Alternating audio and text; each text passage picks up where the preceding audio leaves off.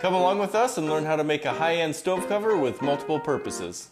Stick around till the end and we will share the secret of what makes our stove covers stand out.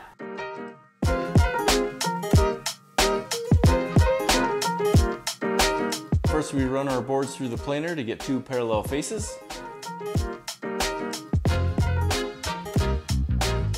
Then it's off to the jointer to cut one edge square to those faces.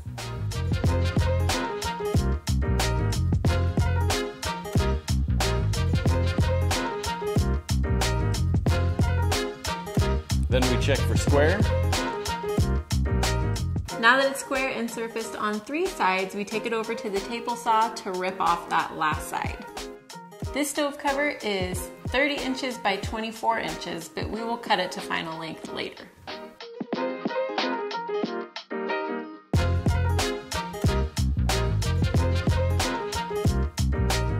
We lay out our boards and decide how we want the grain pattern to go.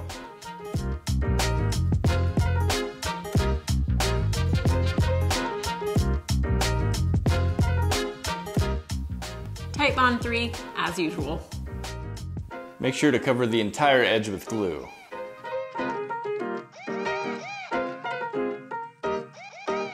When clamping up, it's a good idea to also clamp up the edges. That way the board doesn't bow. If it did bow, we would end up having to lose material and it wouldn't be the ideal thickness, which is one inch.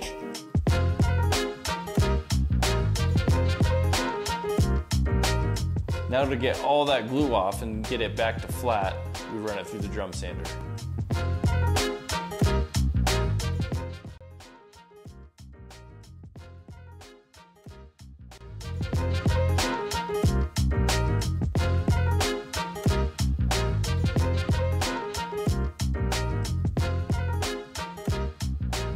You may have seen stove covers made with pine or pallet wood or even painted and they've got stickers on them. But at First Fruits Design Company, we aim to create heirloom quality as well as highly functional stove covers. We use premium domestic and exotic hardwoods full of natural beauty that will hold up to a lifetime of use.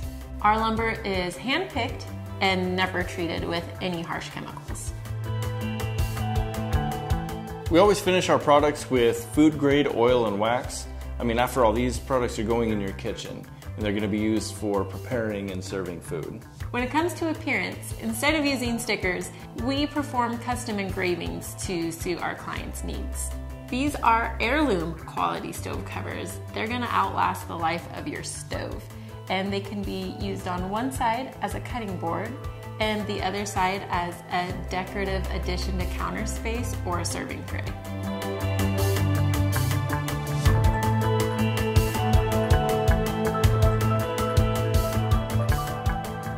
The secret to making our stove covers stand out is high quality materials and craftsmanship, and we carve a juice groove as a standard feature in all of our boards.